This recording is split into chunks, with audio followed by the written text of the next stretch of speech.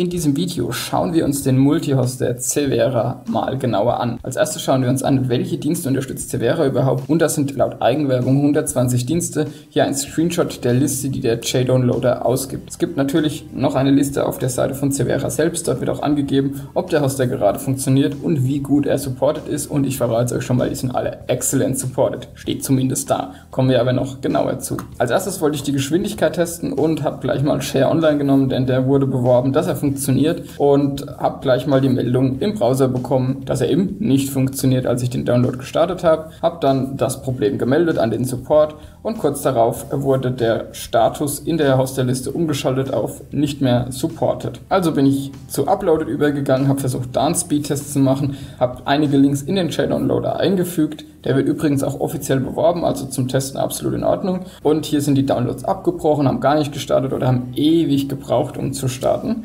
Der JDownloader Log hat mir auch verraten, warum. Es gab nämlich Connection Timeouts und äh, ja, das bei 60.000 Millisekunden. 60.000 Millisekunden sind eine Minute. Das ist halt etwas zu lang für den JDownloader. Beim zweiten Versuch, Dateien runterzuladen, hat es dann etwas besser funktioniert. Es waren aber wieder auch einige dabei, die gar nicht gestartet haben und diese Timeouts haben scheinbar auch dazu geführt, dass der Datendurchsatz nicht wirklich hoch war. Man sieht es auf der rechten Seite in diesem Graphen. Ich habe eine 100 Mbit Leitung, die wurde nicht ganz ausgereizt und die Geschwindigkeit ist auch immer wieder eingebrochen. Zu guter Letzt konnte ich dann die Geschwindigkeit nur mit RapidGator testen. Da habe ich auch die vollen 100 Mbit bekommen und das war auch der einzige von den drei Hostern, der auf Anhieb funktioniert hat. Meine Vermutung war, dass Cevera eventuell Caching betreibt, das heißt die Dateien erstmal zwischenspeichert, bevor sie sie an mich weitergibt. Ich habe also eine Datei selbst bei Uploaded hochgeladen und habe den Link in das Cevera Webinterface kopiert und beim Runterladen habe ich dann diese Meldung bei Cevera bekommen. Error Code, Error while signing into Uploaded TU. Also ziemlich eindeutig, die können sich nicht richtig zu Uploaded verbinden bzw.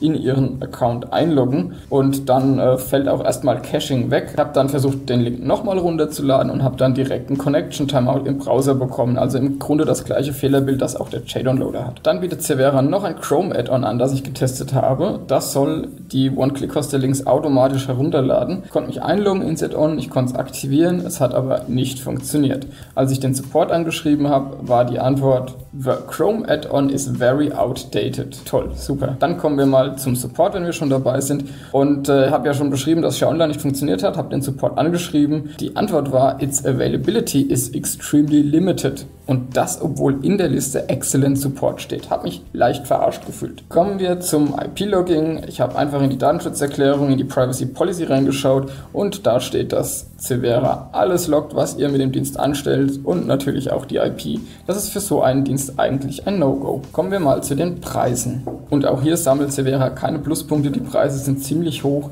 egal für welches Paket man sich entscheidet. Es gibt immer günstigere Alternativen auf dem Markt, zum Beispiel Premiumize oder Premium TO. Die bieten beide günstigere Pakete an. Was ist also abschließend zu sagen? Was hat funktioniert? Ja, von den drei Hostern, die ich getestet habe, hat einer funktioniert. Uploaded und Share Online hat nicht funktioniert. Der Dienst ist insgesamt unzuverlässig, wie auch das Browser-Add-on, das nicht funktioniert. Die Preise sind viel zu hoch und die Angaben, die Cevera macht, sind irreführend. Gibt also keine Kaufempfehlung für diesen Dienst.